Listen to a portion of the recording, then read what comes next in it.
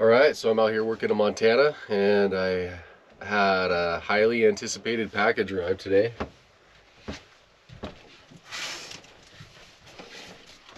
Something that'll come in very handy this summer.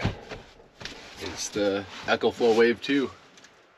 So I just wanted to open it up for you guys, show you what it came, kind of how it fits in the Scout, and uh, where I'm gonna put it. If it's gonna have a permanent home or if I'm gonna have to set it up and take it down. So we got the ducting. Set those there. Those clip onto the unit itself. Here's the ducting hoses.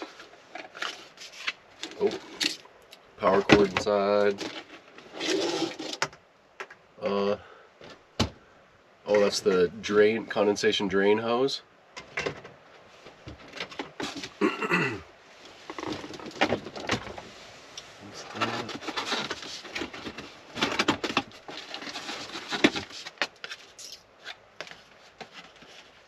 I'm not quite sure if that's for anything other than the little clip here. Instruction pamphlet. Another little shroud for the uh, to connect the ducting tubes to the vents on the unit.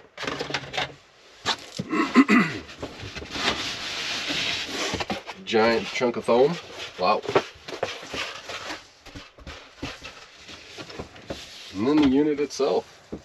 Ah, oh, it's not as big as I was picturing. Thankfully, this is a, a Yoho, Scout Yoho, so it's quite small, but man, it's nice looking. That's actually the back. Here's the front. Wow. It looks really cool.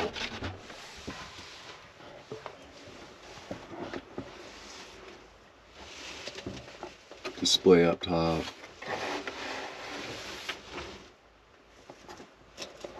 It's a sharp looking unit. Ooh, I love the color. It's a like a gunmetal gray. That is awesome.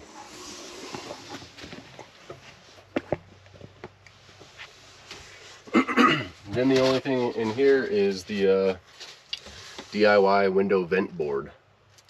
And that's to cut your penetrations to vent these outside through whatever size uh, board or whatever you'd use, maybe like a, a, a foam board to insert in in your window and then cut these size holes through it. I am contemplating doing a bulkhead penetration with like a sealable, uh, like a boat inspection port. If I can find one that locks, uh, I'd consider doing that.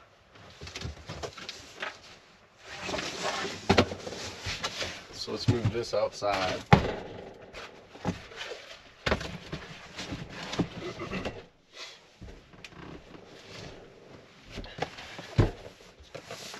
And I also opted for the battery.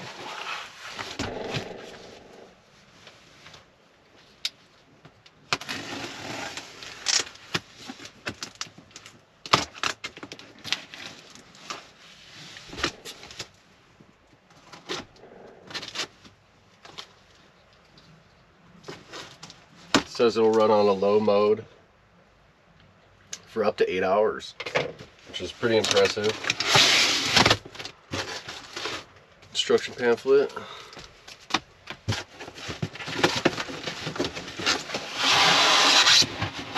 Chunk of foam.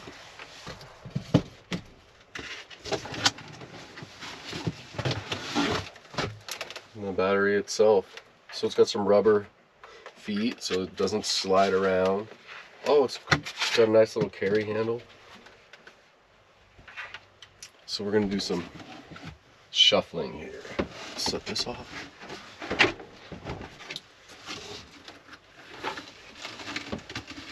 Set this down. Then the only thing, other thing in here besides more foam packaging to keep it safe is the plug that connects the battery to the EcoFlow Wave Two.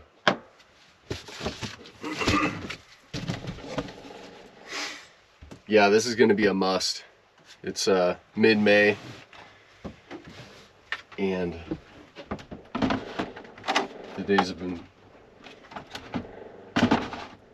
only about mid 70s, and it's quite hot in this camper as it is. So that snaps on easy enough.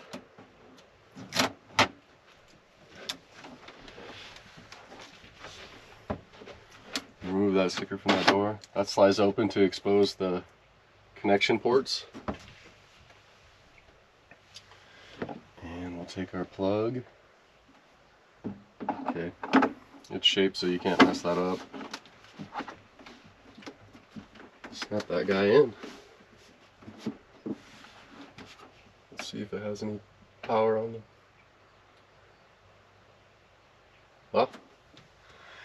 And uh, there is a charge on it. it.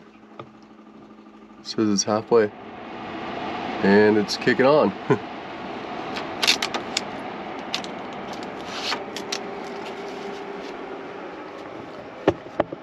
so it's running currently.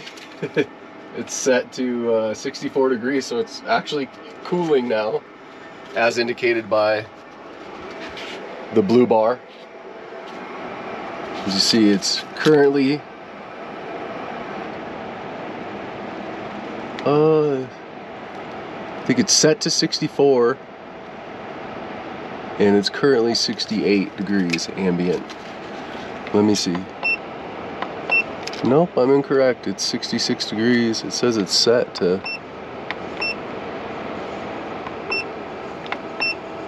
Hmm. Oh, maybe it doesn't read the ambient. Anyway, I'll have to read the instruction manual when I want to go to sleep. But it's working so far. There's a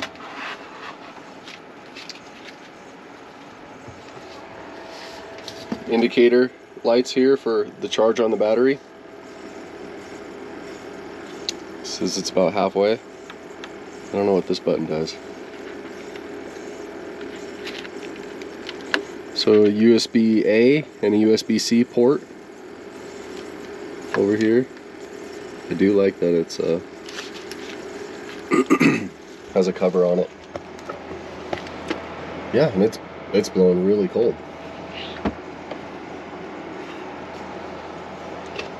Awesome.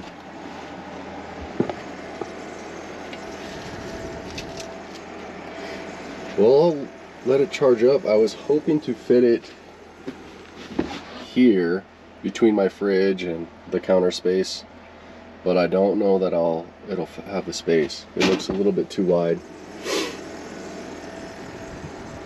But uh, yeah, that's the EcoFlow. Wow, it's blowing really, really cold. That's kind of cool.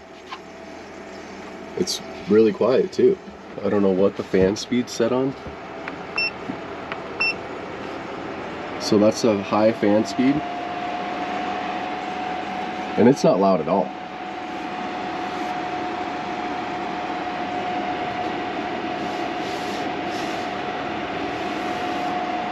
That's fantastic. And it is really cold. I think I don't think it's gonna have any trouble cooling down this Yoho very fast. You can see, it's not that big.